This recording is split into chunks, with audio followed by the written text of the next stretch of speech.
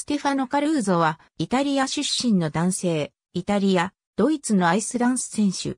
パートナーは、イザベッラ・パヤールディ、ターニャ・コルベ。2014年ソチオリンピックドイツ代表。9歳の時にスケートを始める。2000年にイザベッラ・パヤールディとカップルを結成し、ジュニアグランプリシリーズでは2007年のウィーン杯で3位、ソフィア杯で優勝し、ジュニアグランプリファイナルに進出しのない。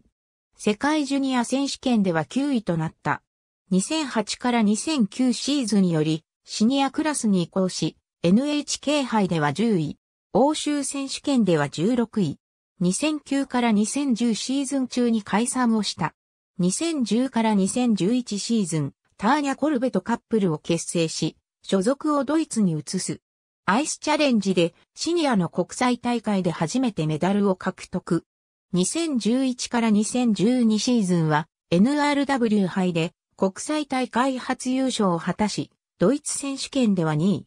初出場の欧州選手権では12位。大会終了後、イタリアとドイツ両国での練習に負担を感じたため解散。その後改めてカップルを結成し、ミラノでのバーバラ・フーザルイコールポリ、ベルリンでのレネローゼ、オーベルストドルフでのマーティン・スコット・ニッキー、ノバイでのイーゴリ・シュピリバンドの4カ所を練習拠点と決めた。2012から2013シーズン、ドイツ選手権では2年連続で2位。